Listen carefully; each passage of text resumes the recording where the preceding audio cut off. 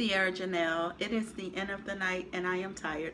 But before I kick my feet up and enjoy this lovely evening, I am going to clean my house. So as you can tell, I'm living my best life. I told y'all I'm living my best life. I made a couple L's with my best friends. Turned all my L's into lessons.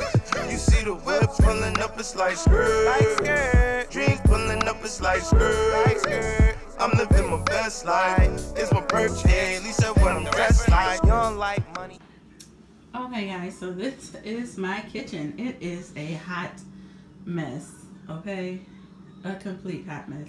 I do want to point out that my cabinets um, have not been painted because I am currently renting this property and the um, owner, the landlord, uh, forbids any painting of the walls or cabinets. So if it was up to me, I would have painted these bad boys black and probably um, spray painted the hardware.